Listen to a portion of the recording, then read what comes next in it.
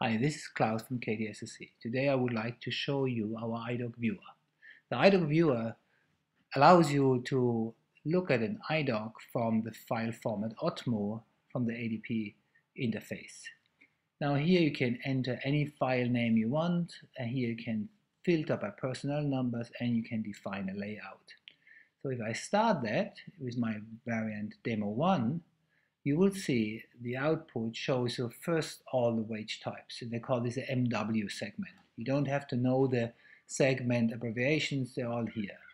Here you see the wage types, and here you see the segment info. All this information is on the iDoc with a different uh, uh, segment of abbreviations. We made it easy. We show you little icons, org changes, addresses, and from here you could go directly to the segment. Now, a little bit playing around with this screen here, you can totalize the wage type amount. And if you have totalized the wage type amount, you see here the total, you can as well totalize, subtotal this by personnel number or by employee name. And here you see nicely everything subtotal by employee as every ALV grid can. Now we move here the wage type name before the amount because I see I like that. And we can now subtotal by wage type name. You would see here now the subtotal for each wage type. And we want to uh, condense it a little bit. And we go to the wage type long text here and you see it's condensed to one list. I like that very much. You can see what you uh, have on your item in total. Now let's go to another segment here, organization changes or the org assignment infotype 1. You see everything what came across with the employee number, with the abbreviations or the short text on top.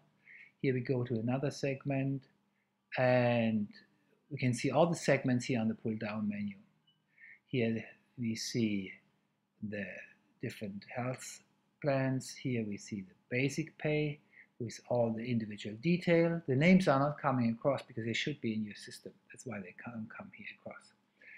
And you see here the individual icons for what we offer, leave, org changes, absences, and here let's go into one of these, the text and the basic pay. All these you can just click on it and you go directly in the segment here. You see the life insurance 168. Everything is nicely printed and shown on display. I go one step back and I come back to my org assignment. It's very interactive. Here you see my list. I can export every list I want, just like with a, any ALV.